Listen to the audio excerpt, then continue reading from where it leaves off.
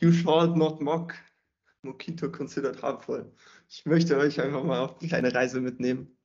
Ähm, weswegen ich Mokito wirklich, wirklich schlecht finde und auch versuche nicht zu benutzen in meinem äh, Code. Und ja, schauen wir mal, äh, was äh, die Diskussion danach bringt. Genau, also minimal müssen wir ein paar Begriffe, glaube ich, klären. Dann meine goldenen Regeln des Testens wollte ich euch zeigen. Ähm, ja, und dann wollte ich einfach ein paar Beispiele durchsprechen. Also ich habe ein paar Screenshots dabei und dann habe ich einfach so ein kleines Testrepo angelegt, wo ich so ein paar Cases ähm, vorbereitet habe. Genau, und es ist mit Absicht so ein bisschen provokativ, das Ganze. Und ja, mir ist klar, es gibt immer Edge Cases. Ja, ich benutze auch Mockito in meinem Code ähm, und lass uns nicht über irgendwelche Begrifflichkeiten streiten, weil ich habe gemerkt, besonders in diesem Test-Ökosystem, da alle Begriffe sind einfach zehnfach überladen. Jeder hat da irgendeine andere Definition darüber. Okay. So, ähm, wo, worüber will ich überhaupt sprechen? So, ähm, ich möchte jetzt nicht unbedingt im, im, im Speziellen über so, so Minitests reden. Ja, ich habe irgendwie einen Date-Formatter programmiert und äh, jetzt teste ich den mal durch, dass der richtigen Datum formatiert. So. Sondern ich meine jetzt, all, ich möchte schon eher so das, das große Ganze darüber reden, eben wenn ich eine Anwendung schreibe, wie ich die Funktionalität dieser Anwendung testen kann, ähm, dass die Business äh, Cases, sag ich mal, richtig funktionieren. Und ähm, in der Regel benutzen wir irgendeine Art und Form von einer Layered Architecture. Heißt, man hat ja so verschiedene Ebenen, man hat ja irgendeine Datenbankschicht, man hat irgendwie Controller, man hat äh, Business-Logik in Services. Und da gibt es auch total gute Architekturmustern wie hexagonale Architektur oder Onion-Architektur und solche Geschichten. Ähm, ganz allgemein will ich halt einfach sagen, dass meistens ist es halt so, dass man irgendwie eine Art Business API definiert, meistens als Java-Interface oder halt einfach als Klasse. Und das ist dann das, was eben der REST-Controller benutzt oder irgendein UI-Framework oder CLI oder was auch immer. Und diese API, sage ich mal, ist stabil in der Art und Weise, dass sie halt sich nur ändert, wenn die Fachlichkeit sich ändert. In den meisten Fällen. Refactoring betrifft meistens diese API nicht, sondern Refactoring ist irgendwas, was innen drin dann halt passiert und alles umwirft. Manche Leute nennen sowas dann Behavior-Driven äh, Test, wenn man solche Sachen testet oder Acceptance-Test. Ich spreche jetzt einfach ganz allgemein über Tests und ich denke, dass meistens diese Art von Tests so die wichtigsten sind, die man schreiben kann, weil sie eben ähm, so die Anwendung der Gesamtheit äh, testen und dann zeigt, dass es halt funktioniert und hilft mir nichts, dass alle meine einzelnen String-Converter funktionieren, richtig funktionieren, wenn die Business-Logik in, in Gänze halt nicht funktioniert. Genau, also darüber möchte ich reden. So, und, und weil es ja um Mokito, Mox und so weiter geht, wollte ich jetzt auch noch einfach mal ähm, vier Begriffe definieren. Ja, da gibt es auch vielleicht andere Definitionen, die man im Internet finden kann. Jetzt einfach mal für die Diskussion wollte ich das so definieren, dass ähm, es halt Stubs, Fakes und Spies gibt. Wobei ein Stub einfach was, ein dummes Stück Code ist, das keine Logik enthält und einfach einen bestimmten Wert zurückgibt. Ein Fake ähm, Prinzip eine Implementierung, Neuimplementierung einer komplexen technischen Geschichte ist, wie Datenbank oder sowas, aber eben simpel implementiert. Also zum Beispiel, anstatt dass ich eine Cassandra-Datenbank nehme, nehme ich einfach eine Hashmap. So. Das könnte zum Beispiel ein Fake sein. Heißt, es ist funktional und äh, läuft aber komplett in Memory. Ein Spy wiederum ist auch wiederum wie ein Stub einfach eine leere Implementierung. Ähm, ich kann aber nachdem der Test gelaufen ist, ein Spy fragen, wie es denn benutzt worden ist. Welche Methoden wurden aufgerufen, mit welchen Parametern und so weiter. Und final definiere ich jetzt meinen Mock einfach als ein generiertes Objekt von irgendeinem Framework-Tool wie Mockito, das halt alle diese drei Sachen machen kann. Und was ich halt interessant finde, ist, dass die meisten Frameworks wie, wie, oder Tools wie Mockito ähm, sind total praktisch, um Stubs und Spice anzulegen ein Fake, weil es ja eben Zustand hat und auch ein Verhalten ähm, implementiert, halt eigentlich nicht umsetzbar ist mit solchen Tools. Klar, man kann da irgendwie Sachen rumprobieren, aber man merkt sofort, dass es dafür eigentlich nicht gedacht ist. Und da kommen wir schon zum ersten Punkt, weswegen ich das halt äh, Mockito dann gar nicht so, so sinnvoll erachte, ist, dass ich denke halt, dass Fakes eigentlich der Default sein sollten für die meisten Tests. Und äh, Stubs und Spice eben nicht. Und, und, daraus folgt dann für mich so ein bisschen, weswegen ich denke, dass Mock, Mocks nicht so das Wahre sind. Deswegen, ich sehe, ja, ich habe eine ewige Zeit, okay, gut. ähm, Gut, deswegen meine, meine, meine, meine Testregeln für mich so sind, äh, Mockito einfach nicht nutzen, außer wenn es wirklich, wirklich sein muss. Ähm, zweite wichtige Regel für mich ist immer, ich möchte immer den gesamten Objektgraphen testen. Heißt, wenn ich ja meine Anwendung habe und ich habe einen Service, der jetzt benutzt von Controller, der benutzt wiederum andere Services und, und Converter und hast du nicht gesehen und irgendwo unten drunter dann die Datenbank.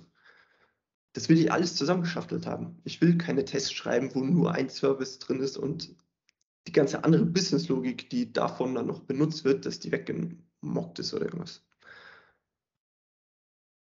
Da ich ja trotzdem keine anderen Systeme testen möchte, also I.O. und so weiter, fake ich dann alle externen Dependencies weg.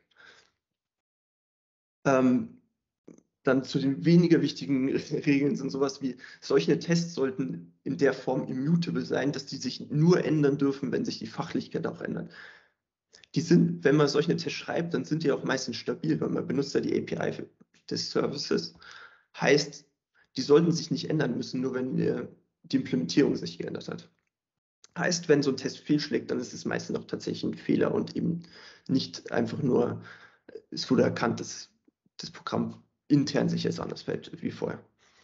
Man sollte externe Dependencies immer hinter einem möglichst kleinen Interface verstecken, heißt nicht irgendwie JDBC direkt über benutzen in Service Code, sondern aufs Nötigste beschränken, weil dann ist das Ganze auch testbar. Wenn man solche Fakes schreibt für externe Abhängigkeiten, dann sollten die auch getestet sein. Ja, also dass eben sicher gegangen wird in gewisser Art und Weise, dass diese Fakes sich eh nicht gleich verhalten wie das echte, die echte Sache. Genauso wie ähm, andere Tests, also solche Mini-Unit-Tests, die irgendwelche geholfen haben beim Entwickeln des originalen Code. Wenn man den komplett perfektet, dann denke ich, kann man die einfach wegschmeißen. Dann haben die keinen Nutzen mehr, weil das Haupt, äh, die, wie soll man sagen, den, den, die meiste Sinnhaftigkeit hat man eben durch diese Art von Test, über die ich jetzt hier spreche, nämlich schon erreicht, dass man weiß, dass das Programm sich richtig fährt. Okay. Jetzt zu den eigentlichen Thesen, weswegen ich Mocking schlecht finde. Ähm, oft, wenn ich mit dem Thema über Leute rede, dann, dann haben die reine technische Brille so auf. Aber ich finde halt Coden oder alle Sachen so, sind auch Architektur oder was auch immer, ist alles so auch so, so, so hat alles so eine soziale Komponente auch. Sieht man ja auch schön an, an Conway's Law oder so in der Microservice-Architektur dass es total wichtig ist, was für Kommunikationswege es zwischen Teams gibt, weil die eben Einfluss darauf haben, wie erfolgreich eine Architektur sein kann oder nicht. Und genauso sehe ich es halt hier jetzt zum Beispiel mit, mit so einem Tool wie Mockito auch, dass ähm, es gibt so eine Grundregel, nämlich das sagt, dass unclean Code oder halt schlechter Code im Allgemeinen ist meistens schlecht testbar auch. Guter Code ist meistens gut testbar. Heißt nicht, dass gut testbarer Code unbedingt gut sein muss. Gell? Aber was der Mockito einen hilft, ist eben schlechten Code leicht zu testen. Was ich finde halt nicht der Sinn der Sache sein sollte. Das, aus dem Grund ist ja auch solch Tooling überhaupt entstanden.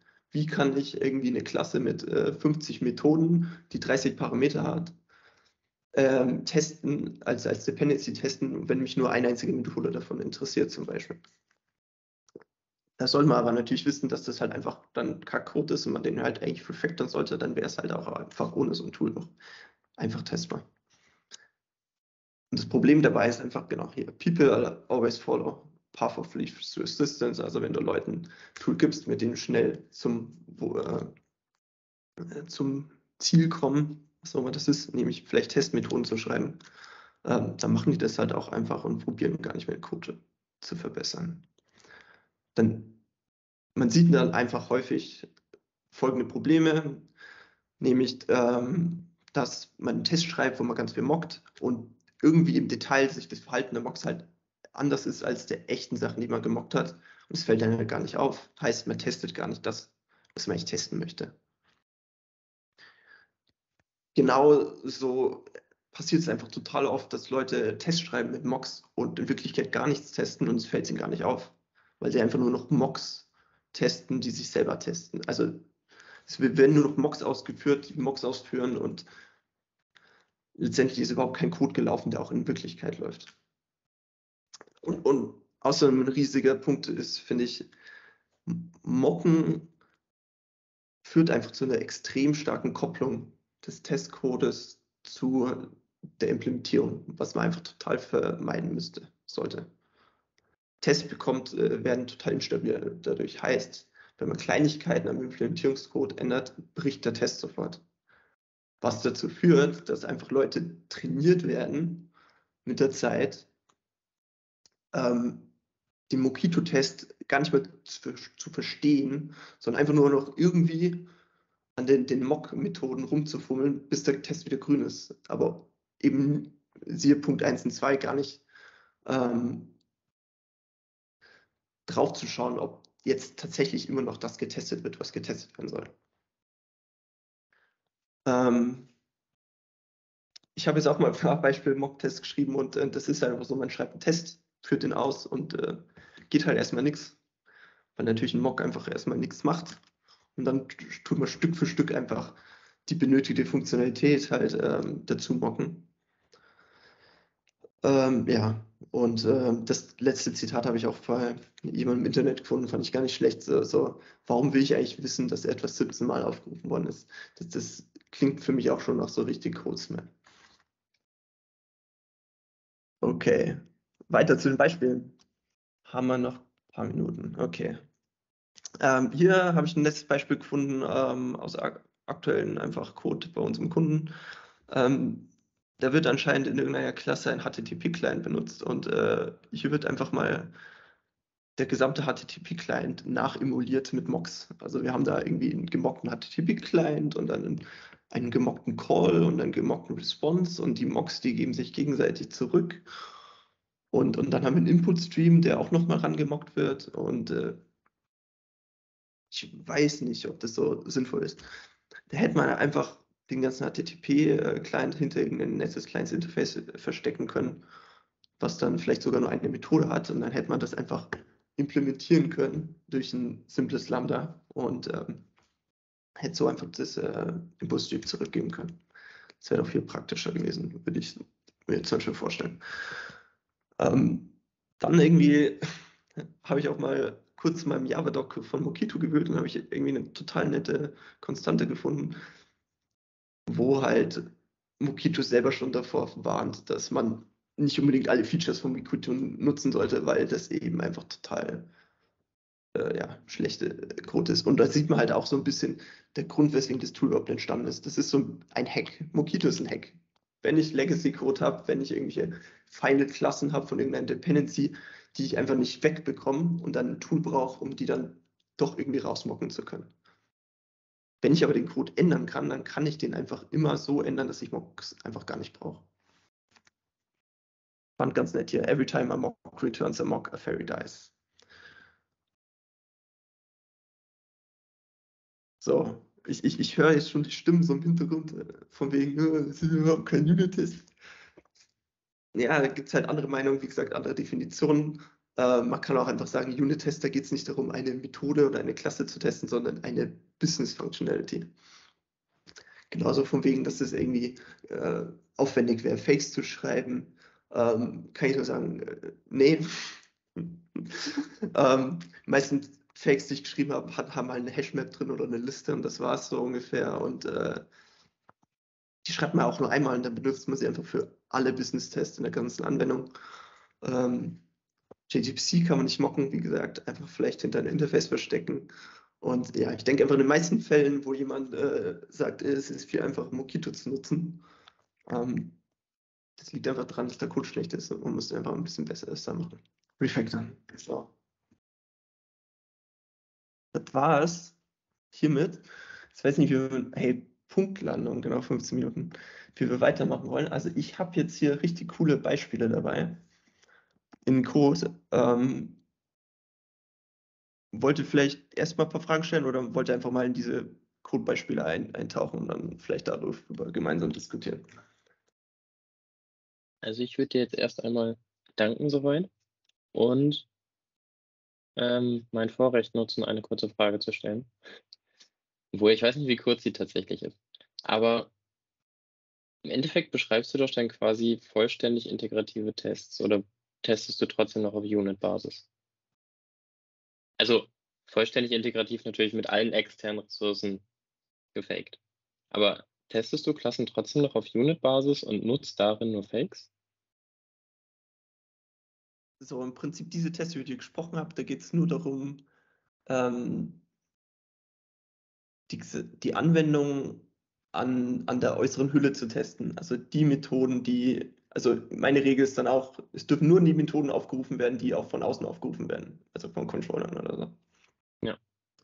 Und dann ist alles zusammengeschachtelt. Aber mit alles meine ich halt eben nicht externe Abhängigkeiten. Da hängt keine Datenbank drin, äh, kein I.O. passiert in den ganzen Test.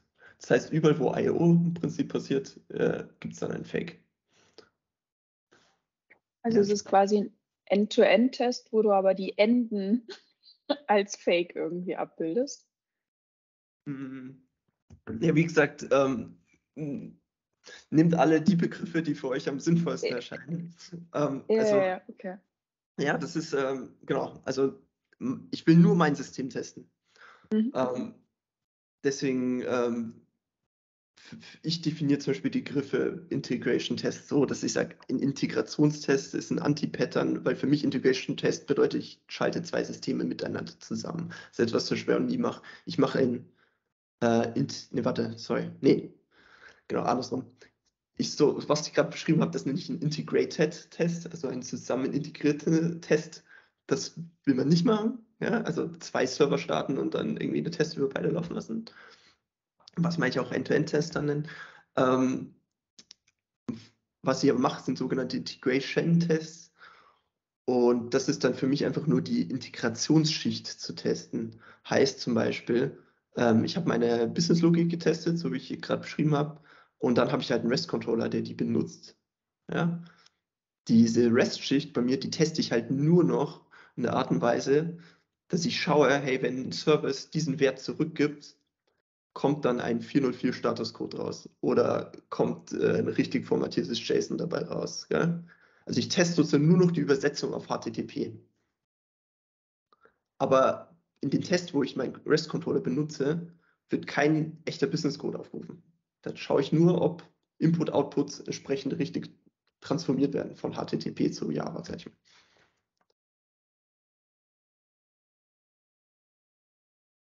Okay. Da habe ich jetzt aber noch mal ganz kurz eine Frage. Also, das heißt, du hast, sagen wir mal, 20 Klassen, die steckst du ineinander und äh, schaust nur sozusagen von außen die, die Hülle an. Mhm.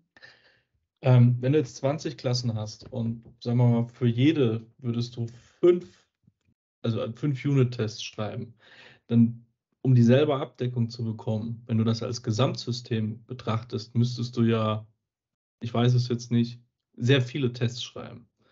Das alles miteinander multipliziert. 5 hoch 20 vermutlich.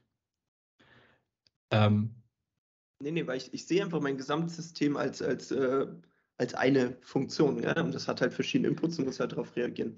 Ähm, natürlich, wenn ich irgendwelche komische Special-Berechnungen intern habe, äh, komplizierte Berechnungen oder so, also ich schreibe da auch schon Tests innen drin für irgendwelche Sachen. Ja? So ist es nicht. Aber vielleicht hier als gutes Beispiel. Ich habe mir hier mal einen Beispielservice geschrieben. Das ist so ein, soll so ein bisschen so ein Secret Customer Service sein. Und die, die wichtigen Methoden sind halt, ich kann ähm, Customer anlegen von einer natürlichen Person, Namen ändern und halt äh, löschen und so weiter. Und dann habe ich halt einfach einen simplen, wo habe ich das? Falsch ein, einen Test geschrieben, der halt einfach meine Business-Logik testet, nämlich ich kann einen äh, angelegten Customer finden. So, mit der Search, ja, also ich, ich rufe auf die echte Methode. Also ich tue nicht in der Datenbank intern irgendwie was schon hinterlegen, sondern ich sage, hey, wenn ich Customer anlegen aufrufe und dann Find by, dann will ich es finden. Genauso wie wenn ich halt nichts angelegt habe, dann kriege ich nichts zurück. Wenn ich angelegt habe, das Ganze dann lösche, dann finde ich nichts mehr. Ja, wenn ich angelegt habe, den Namen ändere, dann möchte, möchte ich, dass der Name geändert ist. Genau solche Tests halt. Also das sind so, so sozusagen diese Given When Then, was du gesagt hast, Behavior Driven Testing, richtig? Das ist das. Ja. Weil, weil, weil das ist ja im Prinzip, man hat ja eine API. Eine API ist ja nicht nur irgendwie, wie das REST ausschaut, sondern auch das Verhalten und die Protokolle dazwischen. Ne? Kannst dir vorstellen, du hast einen REST-Controller, eben wie vielleicht hier, wo ich diese drei Methoden habe oder vier, löschen, suchen, anlegen, ähm, ändern. Und das ist ja nicht nur, die API ist ja nicht nur das, ähm, irgendwie wie das, das, das Datenschema ist vom, vom, JSON, sondern die API ist ja auch Prinzip, man nennt es ja manchmal Protokoll, also welche, welche Abhängigkeiten dazwischen es gibt. Eben wenn ich das aufrufe, dass dann ich das Resultat beim anderen Call eben auch erwarten kann. Ist ja quasi eine. Oh. Möchtest du erst ja. sein? Nee, du, Arne. Okay, äh, dann ist ja quasi aber schon eine Bedingung für diese Tests, dass halt wirklich die einzelnen Endpunkte oder die API, die man halt testet, wirklich sehr fein granular ist, oder? Weil ansonsten, wenn man da jetzt eine Such-API hat, die nur fünf optionale Parameter hat, dann explodieren dann ja schon wieder die Permutationen an Tests. Genau. Suchen sind zum Beispiel ein Special Case, heißt, ähm, ich habe auch mal eine Suche mit Elasticsearch gebaut. Äh, Elasticsearch willst du jetzt nicht in den Fake nachimplementieren. Ja? Ähm, und äh, da, bei sowas hilft es halt nicht. Da hast du eine Suche mit äh, random Parametern und dann musst du es halt mit dem echten Ding testen. So. Da, da führt ja auch keinen Weg dann vorbei. Ja, dann muss man es mit der Elasticsearch testen. Da helfen dir halt dann aber auch Mocks wiederum nicht. Was hilft dir dann Mock? Ähm, was ich, ich, ich hier zeigen wollte, ich habe mir einen netten Case gebaut, weil ich habe mich zurückerinnert an, wie das mal im alten Projekt mal bei mir war. Wir hatten ja auch so eine Art CQS-Service und wir hatten das Ganze mal umgestellt. Also am Anfang hatten wir so Daten gespeichert und nur noch in der Datenbank als gelöscht markiert, also mit so einem Delete-Flag. Und dann hatten wir das irgendwann mal umgestellt von, nee, wir löschen die Daten mal direkt. Und deswegen habe ich jetzt so zwei Packages, halt einmal mit Delete Flag und einmal direkt, da habe ich es mal so parallel implementiert in so einem Beispiel. Und ich habe halt einmal mein, mein, meine Tests mit Fakes und einmal mit Mockito. Und, und der Mockito-Test hier, da, da geht es halt einfach nur darum, wenn ich ähm, einen, wenn ich einen Customer anlege, dann erwarte ich, dass ähm, Absurd aufgerufen wird in der Datenbank. So wie man halt mit Mockito das schreiben würde. Und ich habe das halt jetzt äh, implementiert, auch dann, ich, also refactored sozusagen, ich benutze kein Delete Flag mehr, sondern ich lösche die Daten direkt. Und ich habe einen Bug drin und es war halt derselbe Bug, den wir auch damals mal hatten. Und das Interessante ist halt, wenn ich den Test es ja nochmal vergleichen. Also der, nee, falsch verglichen, sorry. Der Test ist exakt derselbe, ja? den ich bei beiden benutze. Diese, dieser Test mit Fakes erkennt aber den Bug sofort, weil einfach das Verhalten sich geändert hat. So, ein Test schlägt fehl. Die, die Sache ist halt aber bei den, bei den Mock-Tests, ja? also wenn ich hier mal den, den, den Mock-Test einfach mal ähm, copy und paste. Was das Problem? Äh,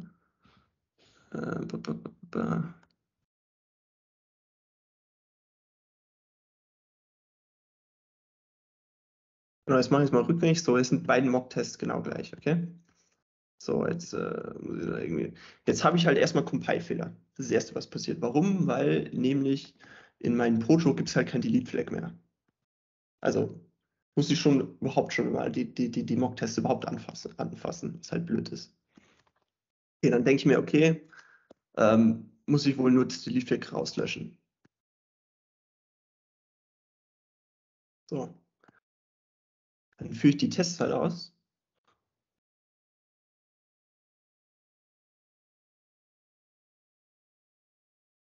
Und jetzt sagte mir halt, okay, irgendwie Upsert wurde hier nicht äh, aufgerufen.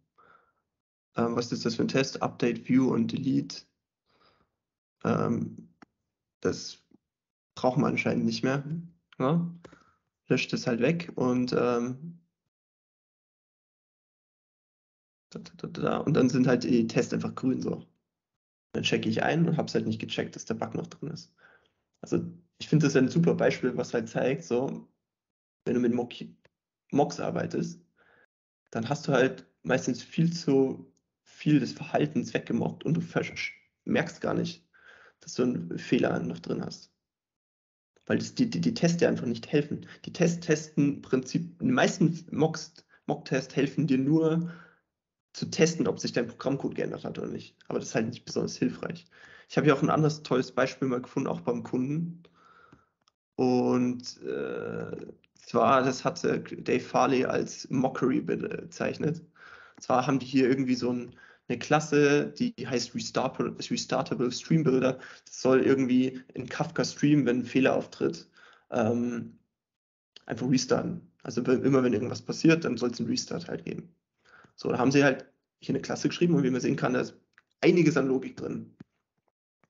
Das Witzige ist halt, ich habe in diesem Beispielprojekt kein einziges Spring Boot oder, oder Kafka oder nix als Dependency drin. Ich habe einfach alle Sachen, das benutze ich als Interface. Das heißt, es gibt keine richtige Implementierung davon. Es gibt aber einen Test. Und der Test mockt halt einfach alles weg. Und wenn ich mir so einen Test anschaue, dann ist das einfach hier Return Loop Stream Builder, when irgendwie ein Factory irgendwas bekommt und dann rufe ich was auf und mache auch eine Assertion. Und ich kann die Tests auch ausführen. Die sind alle grün. Aber ich habe keine richtige Implementierung. Das hat also einfach überhaupt nichts getestet, diese Testklasse. Schaut aber aus, hey, ich habe so wahrscheinlich Testabdeckung auch noch bekommen. Hat einfach gar nichts erreicht. Und das ist einfach direkt aus dem Kundenprojekt kopiert, also gar nicht mal irgendwie jetzt künstlich erzeugt. Ja.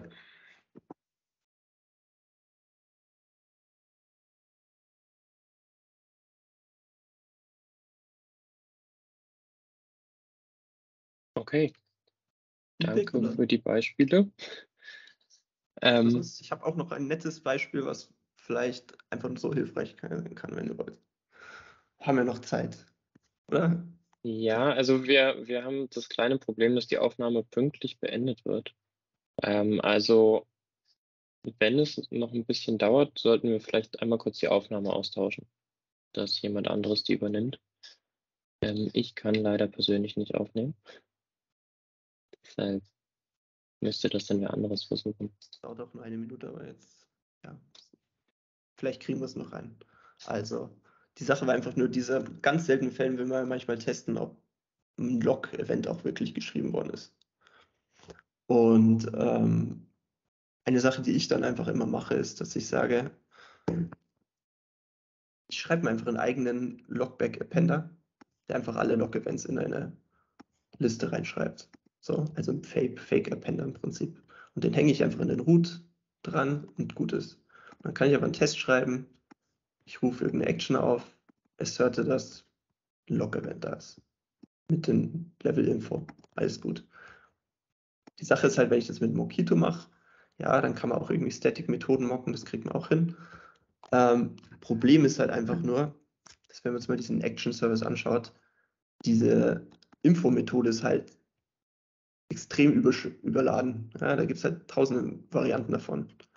Und das Problem ist halt, dass Mockito ist halt instabil. Ich teste das, äh, es ist so und dann irgendjemand kommt auf die, ich mache einen Parameter hinzu, plötzlich funktioniert der Mock nicht mehr, weil der Mock eben diese Infomethode gemockt hat und nicht die da unten.